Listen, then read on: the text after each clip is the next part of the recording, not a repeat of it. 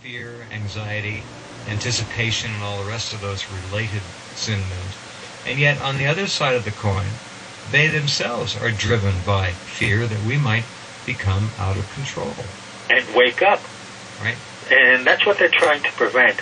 The, and, and that's essentially a, a spiritual condition. The mind control issue is first and foremost a spiritual issue. Its foundation is spiritual. The, the mind is the gateway to the soul. That's why the mind control issue.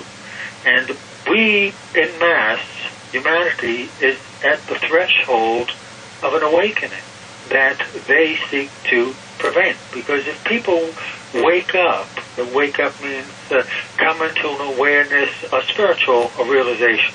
Because that's the only thing that's going to solve the problems that we face. Uh, they're, they're just very so basic and fundamental. We're not going to fix things with band-aid measures, trying to tinker here and there and fix the economy. You're not going to fix the economy without attending to the issue of uh, honest weights and measures and, and, and an honest uh, uh, medium of, exchange as the uh, lifeblood uh, of uh, of commerce.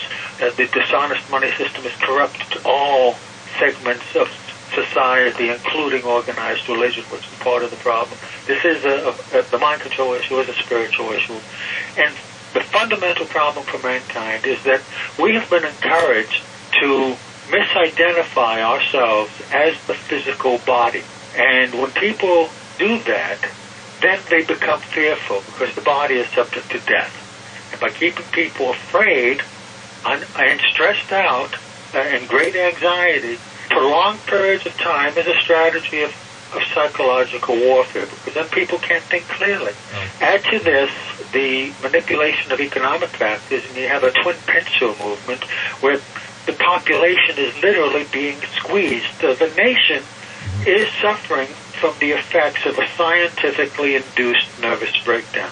That's what we're seeing all around us. We are the first media generation that caused a, a psychological standardization that later was fragmented, and so that uh, different groups can be spoken to uh, individually and programmed individually. The real issue is a spiritual issue. The spiritual consciousness is the only solution to the problems and suffering of material existence. And it's on that platform where we have our power because it requires us to look within for the answers, and that's the only way we're going to find them. We've been conditioned to look outside of ourselves for the answers and to use our mind in an analytical way to, to think our way out of a problem.